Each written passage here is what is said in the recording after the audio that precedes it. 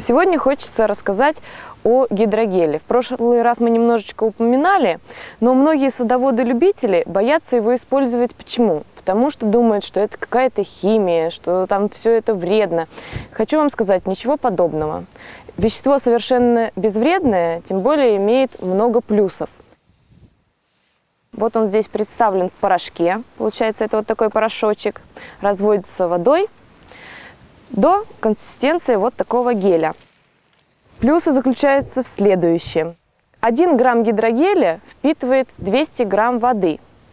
При внесении его в почву под растение, гидрогель, получается, он аккумулирует в себе воду, и при засухе растение с него может свободно забирать воду и нормально дальше вегетировать. Положительный эффект происходит и при переувлажнении. То есть гидрогель впитывает в себя лишнюю воду, и у нас мы избегаем выпривания, вымокания и еще множество проблем.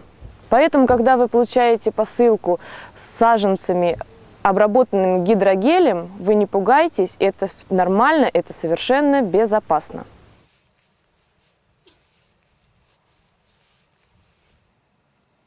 Эти кристаллы позволяют сохранить постоянную влажность на протяжении всей пересылки или транспортировки, вплоть до получения клиентам этого саженца.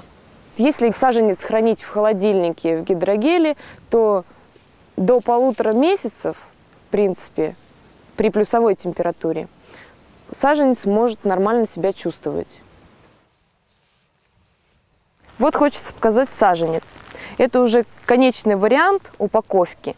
То есть корни обработаны гидрогелем, сверху одет мешочек, то есть все эти корни помещены в мешочек.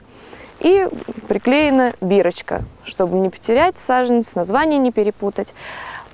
Вот такая упаковочка э, на данный момент идеальна. Неважно, какого размера вы получили саженец.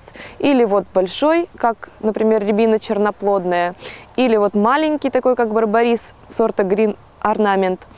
Мы советуем корневую систему от гидрогеля не промывать. Это вам даст то, что вы весной уже ощутите его действие на этих растениях. Он поможет растениям прижиться и нормально вегетировать в течение всего лета.